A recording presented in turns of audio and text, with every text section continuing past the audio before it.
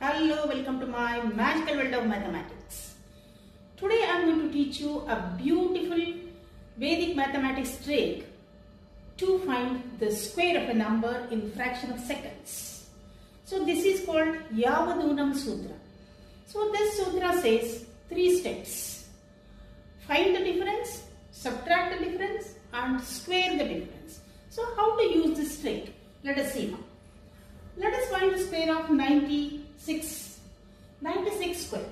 First thing is find the difference. So base of the number is 100 minus 96.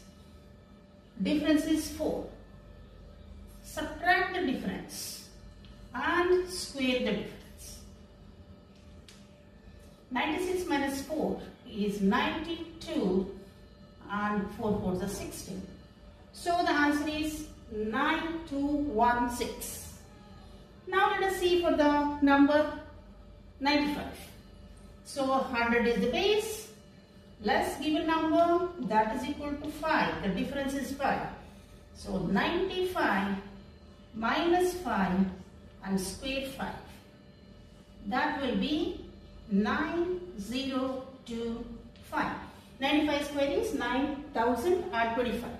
In the same way, we will see that for three digit numbers. 998. So base is 1000. 1000 minus 989. That will be how much is? Difference is 11. So given number is 989 minus 11 and square 11. So the answer is 9, 7, 8, 1, 2, 1. That is the answer. Let us find the square of 988 So 1000 is the base minus 988. That is equal to 12. So the given number is 988.